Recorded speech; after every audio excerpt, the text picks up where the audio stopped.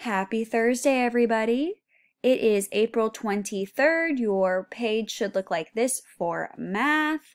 Um, our opening, we're going to read our I can statement. We're going to watch a YouTube video, and then you guys are going to watch my YouTube video about comparing decimals review, and you're going to take a three question quiz. So, I can recognize opposite signs of numbers as indicating locations on opposite sides of zero on the number line.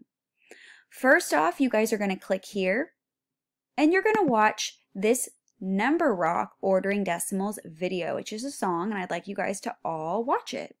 Afterwards, you guys are going to work on your work period. Your work period is watching this video. So we're going to do a little review right now. I'm going to pull up a PowerPoint slide. Hope all of you guys can see this.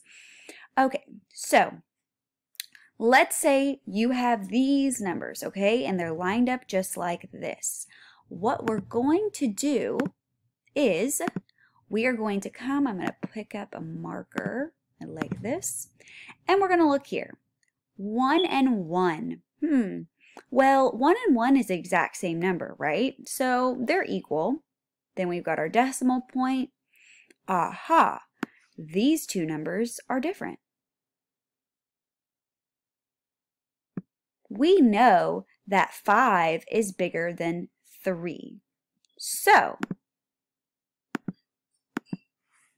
1.587 is greater than 1.389.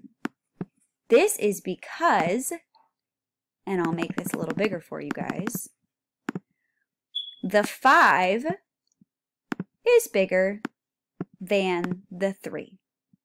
Do you guys understand that? So the alligator's mouth is going to be eating the bigger number. Let's compare another one.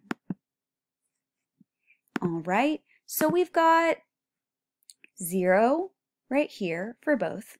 Then we've got decimal points for both. Twos, those are the same. Ah, now these are different. Which number is bigger, 4 or 5? Yep, 5 is the bigger number.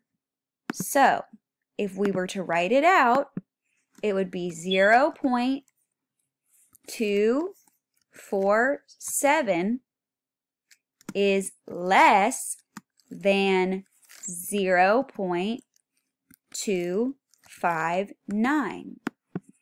Why? Well, because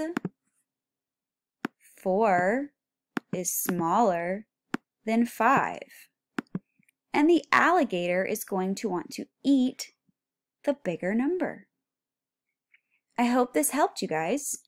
After you're finished, you guys are going to click Activities, click Quizzes, and you're going to answer April 23rd Comparing Decimals Review, a three-question quiz on comparing decimals, just like we did right now. Good luck!